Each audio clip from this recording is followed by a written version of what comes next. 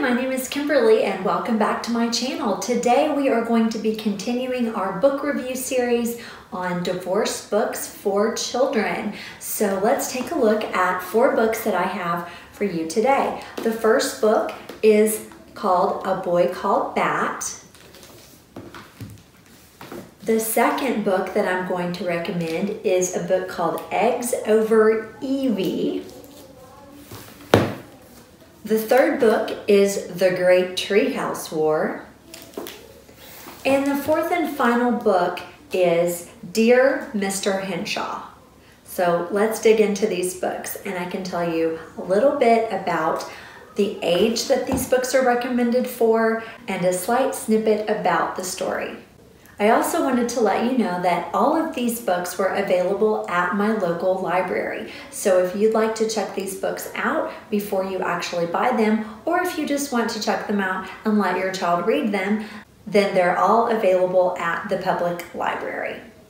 I will also put a link to the author's names, the titles, and everything down in the description below so that you can go and search for them on the internet if they are available. The first book is A Boy Called Bat, and this is about a boy called Bat. He's actually on the autism spectrum. Bat's mom is a vet and his parents are divorced. One day she brings home a baby skunk, and the story centers around this autistic boy's interaction with the skunk and how he interacts with the rest of his family, including his sister. This book showcases weekend visits with dad and shows an autistic child's perspective on divorce. All right, let's move on to the next book. This book is really interesting and unique because it is full of recipes. The name of the book is called Eggs Over Evie. Eggs Over Evie is recommended for children ages 8 to 12.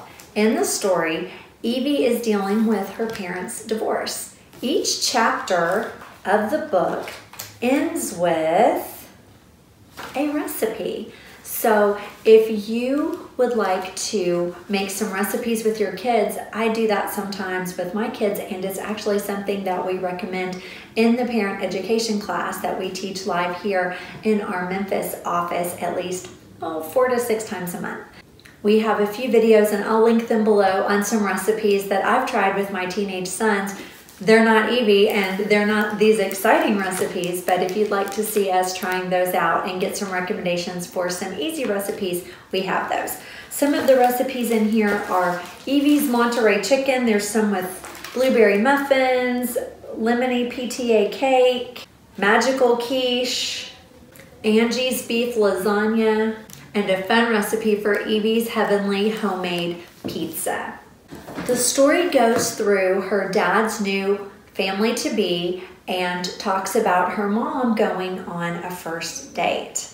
Every chapter in the book starts with a quote from a famous chef, and like I said, the ending of each chapter has a unique recipe. So if you have a child that loves to cook or you want to try doing something new with your child, this could be a great book for you.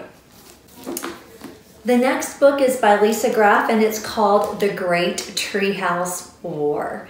This is an interesting book because it shows how sometimes parents fight over their children.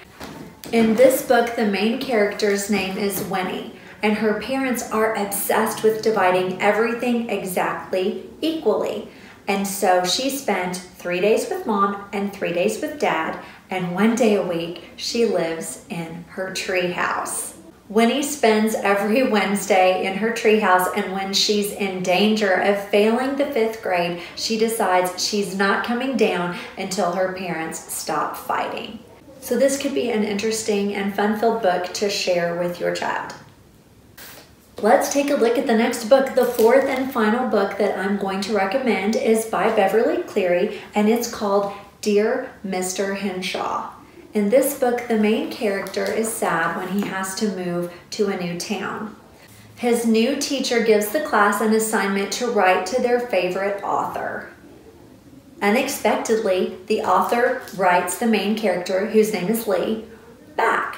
This story is told through a series of letters back and forth between Leigh, the main character, and it reveals his anger at his dad and the struggles that he's facing as the new kid in class. Thank you for watching our latest book review. If you want to catch the first book review, I'll link it in the description below. I also have a book review that's focused on kids with autism. So if you like this video, leave a comment below and tell me if you were able to share one of these books with your child and what they thought about it. If you liked this video, don't forget to subscribe to our channel, like this video, and click on that notification bell so that you can be notified every time we make more book review videos like these.